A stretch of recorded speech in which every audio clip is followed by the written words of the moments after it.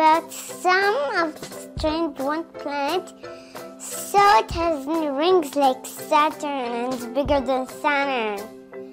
And it is ginormous. It is 11 times more massive than Jupiter.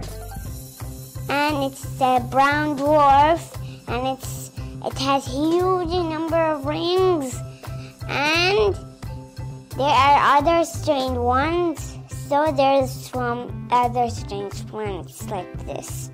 Have rings. Some comets has rings like this.